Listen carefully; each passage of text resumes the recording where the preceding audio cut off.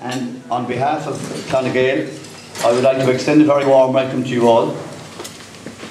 I'd particularly like to welcome the 1977 and the 2006 winning junior teams.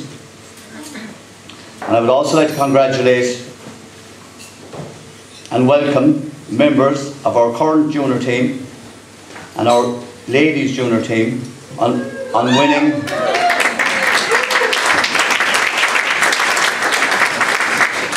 along with our victorious Scór participants from last year.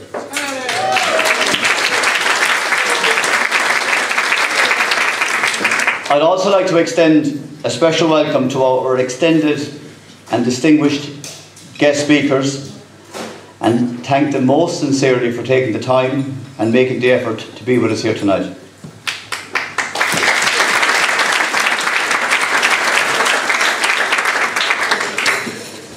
Following exhaustive discussions and negotiations with Dee Forbes, the Director General of RTE, I can exclusively reveal here tonight that the RTE TV licence fee will not be increased during 2017.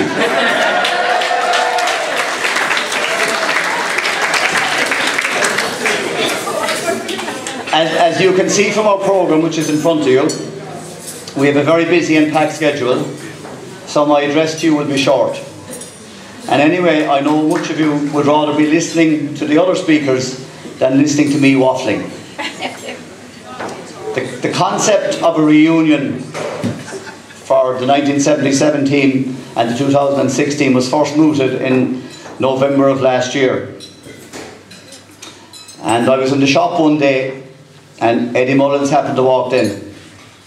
And I was telling Eddie about the, the whole idea of it. And Eddie was thrilled. And he got as excited about it as Eddie can get as excited about anything. and halfway through the conversation, Anne joined us. And she said, she asked me if I was a member of the 1977 team. and I, in earnest, replied, no that I was much too young. And Eddie looked at me and he looked at Anne and he said, there was a pause, and he said, no, it's just you weren't good enough.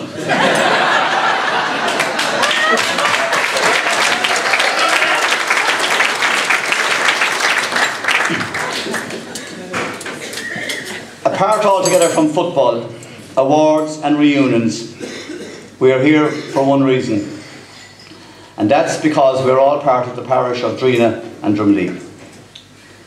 We are all connected in some way.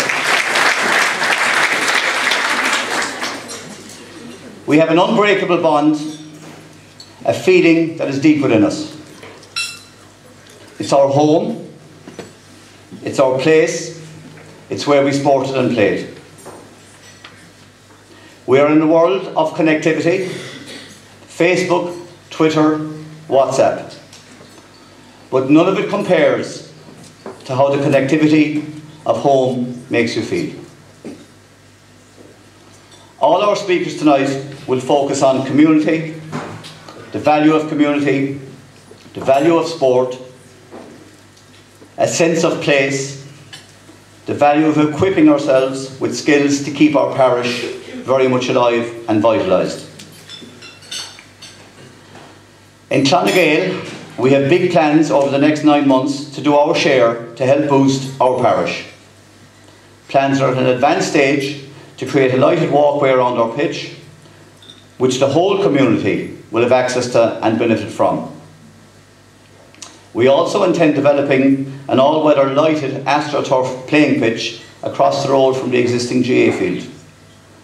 This will be available to all the clubs, schools and individuals our emphasis will be very much on inclusion and cooperation with other organisations to ensure that everyone gets maximum benefits.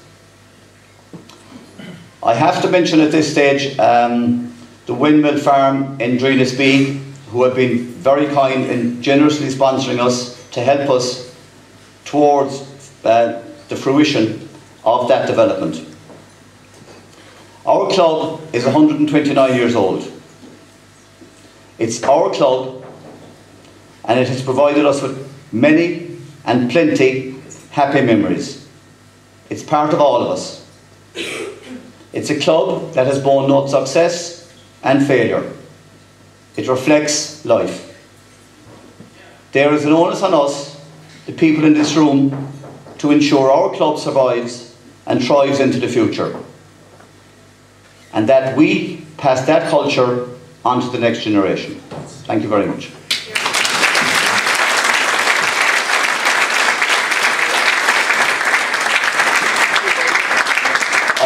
Hand you over to Tadgh Daly, who will act as our MC for the night. And if, if, if proceedings go late, you know who to blame. It's not me, it's Ty. Thank, thank, you, Sean. Um, I'm going to break with tradition completely and keep it very short. Because those of you who know me know I'm not short of a word, but uh, I could literally talk all day, but I won't. Uh, but I was just, um, I haven't made any notes, uh, which is again one of my uh, trademarks. But I was just reading the the, the uh, menu for tonight, and not the, the food menu, but the other side of the menu, and I was thinking about what is written here. When all is said and done, the real citadel of strength of any community is in the hearts and minds and desires of those that dwell there. Uh, a chap called Ever- Everett Dirksen, an American politician that we're told. Obviously, they don't make American, American politicians today like they did before. Um, but it's very true what, what, he, what he says here in, in that particular few words. So I was asked to MC the night and just say a few brief words, uh, in, and I, I see him down here as my, my life with the Scorchers. And yeah, I'm, I'm a very, very proud Scorcher. Um, those of you who know as well know that my strengths lie outside the white line rather than inside the white line. And um, uh, I often dream of scoring 3 7 in the West Cork final, but then I wake up and say, no, that wasn't me at all, it was probably somebody else. But uh, the fact that we won West Cork finals, I think, is a, is a strength of the community. Uh, you know, the team go out and do the, do the hard yards, but it's everybody in the community that, that, makes, it, that makes it happen. Uh, as Sean said, the club has a, a very, very long and, and checkered history 100 129 years. And that doesn't happen by chance. And I suppose, you know, we've had our ups and downs, there's no, no, no denying that. We'd like to have had more successful days on the field of play, but we need to celebrate the successes and sometimes look to the future as well, because the future uh, will be bright, I have no doubt, under the likes of Sean's leadership as chairman and indeed many people in this room, both as, as players and administrators. Um, for me, growing up in the main street, the GAA was a huge part of the community. Absolutely huge. You know, that's all we did. It was GAA, there was nothing else going on. And uh, whether you liked it or not, you were maybe not forced. I, I was happy to go along, but uh, literally go along was probably my uh, my trait rather than uh, anything else. But it, it, it is a huge part of the community, and I have very, very happy memories of. Uh, many of you remember up in Walty's field, tagging out under the under the famous tree. Um, I think there was only one tree there, but I'm sure there was a few more. But it, it was Walty's field, and also going to matches, you know, meeting outside Nan's. She was my aunt, obviously, as many would you know, but um, that's where people met. You know, there was no such thing as WhatsApp or uh, Facebook or indeed texting. It was meet at Nan's and that was it. And there is no truth in the rumour that we that Drimoleague holds the record, the Guinness Book of Records for getting the most under 12s into an escort estate. Um, but I'm sure we, we tried valiantly to, to do that on many an occasion because there was probably two cars travelling and 24 players, so it was a case of um, sometimes people were left behind too, I'm sure, um, because we didn't have transport for them. So, uh, but it was there were great times. Uh, we had great days all over West Cork, travelling to the down to the Blackfield as it was then, you know, over to Ballineen, over to Dunmanway, down to Skibbereen. So there were fantastic times with your, with your family and with your friends.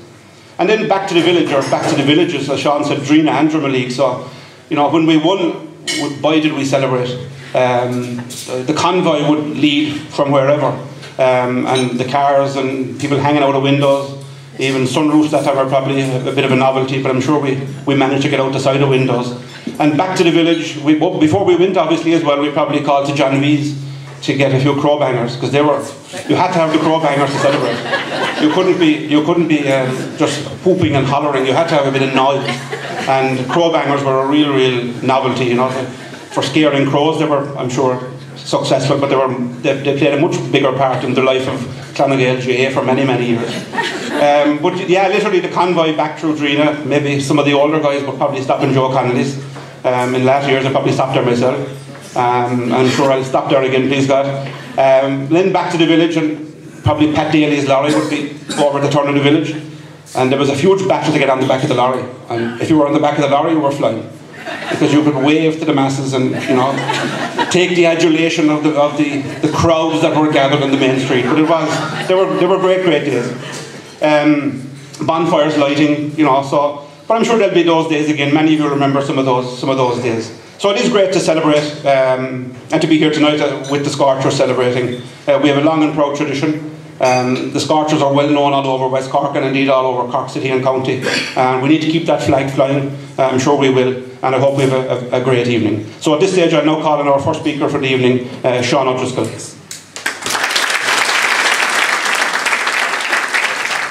Uh, thank you, Tadgh. Uh, good evening, um, neighbours, friends, cousins. Uh, I'd first like to congratulate the Clann na nGael Club on the theme of this evening, which is all about community. And I have had the benefit in my life to travel the world, and being from West Cork is the most important thing to me. And it's far more important to me than my Irish citizenship. I am from West Cork, and I love being back here, and thank you for giving me the opportunity to come back and spend the weekend again amongst my own.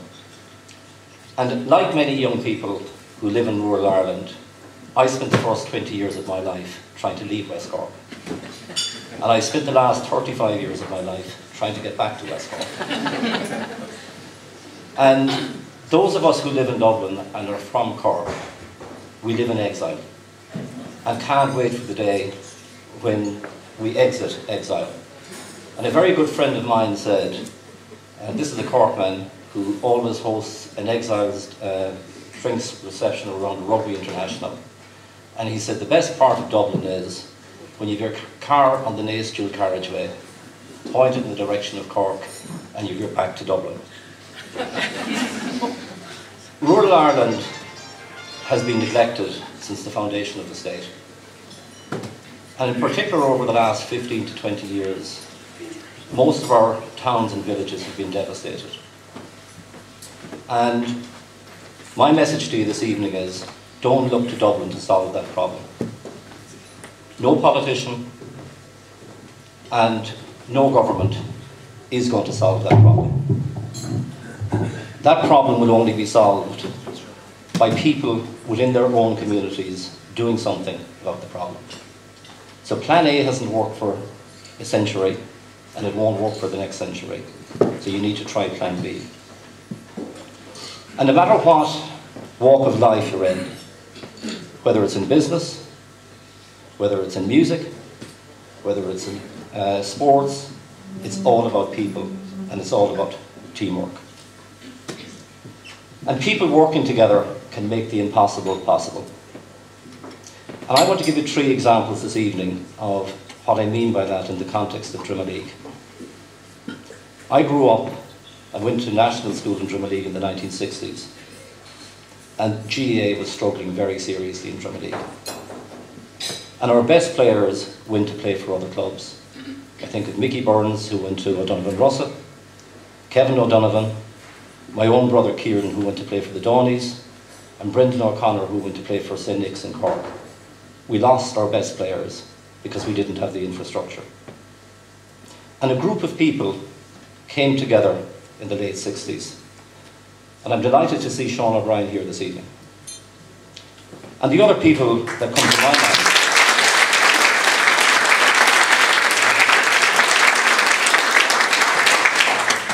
The other people who come to my mind, unfortunately, are no longer with us.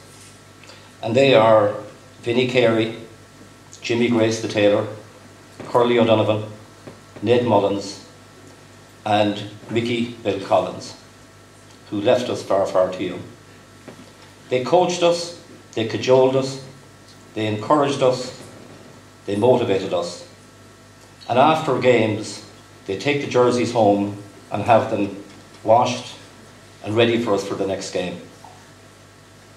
And that culminated in the first victory of an underage under 14 team when we won the Tom Barry in 1971. And that team formed the nucleus of the 1977 team, which we're uh, recognising here this evening. And I would say they are the people, and they, they were, that was the team that was the cornerstone of what is now the Clann na nGael Club. The second example is the festivals that were held from about 1975 to 1980. And the chairman talked about inclusion. And at the outset of the 1975 festival, there were different parts of the parish and different uh, factions within the parish who wanted to take responsibility for the festival. And the way we got around it was the parish, the ICA, and the GAA came together. And it was agreed at the very outset that the parish would get 50% of any profits that were made, ICA 25% and the GAA 25%. And I remember particularly well the festival in 1975 made a profit of 1,750 Irish pounds. Adjusting for inflation, the equivalent figure today is 16,500 euro. An enormous amount of money in 1975. And that money, the parish money, was used towards putting a deposit down on the purchase of what is now the parish hall.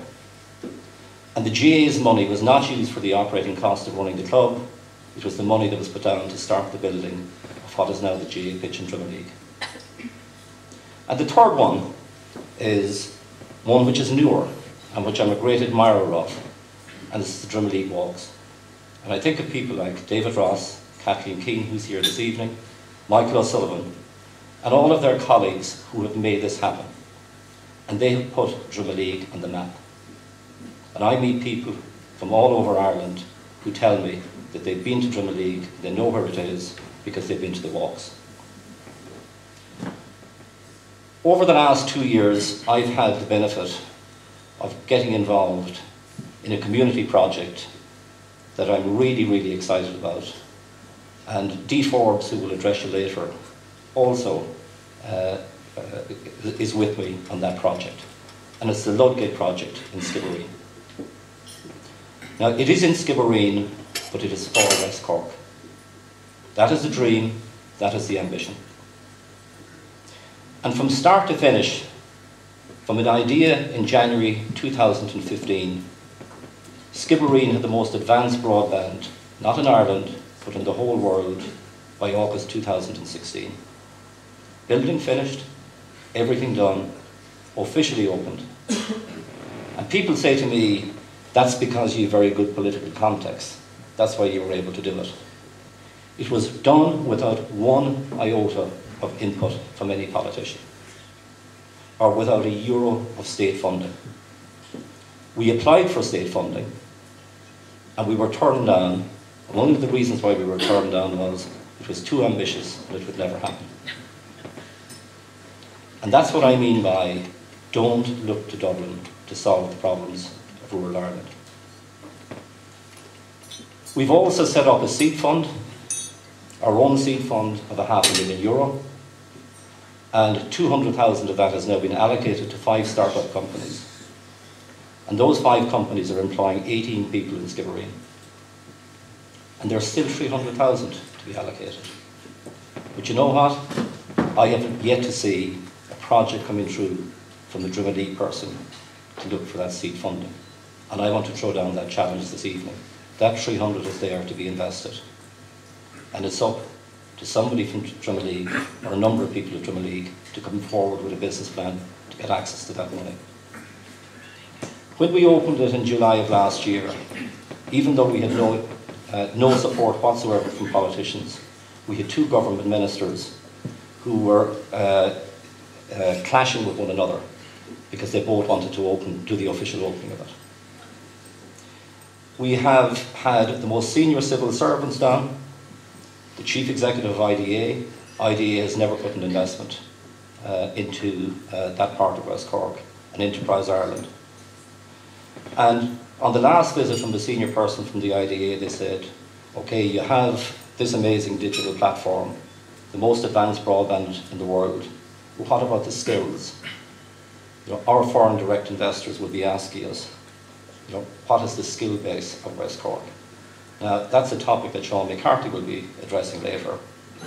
But let me tell you how we went about addressing it.